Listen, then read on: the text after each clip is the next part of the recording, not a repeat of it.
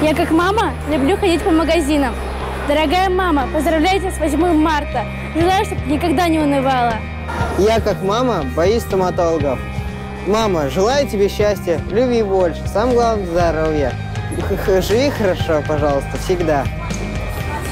Я похожа на маму тем, что я очень дружелюбная, очень люблю поболтать, прям как моя мама. Люблю ухаживать за домом, и это иногда очень важно.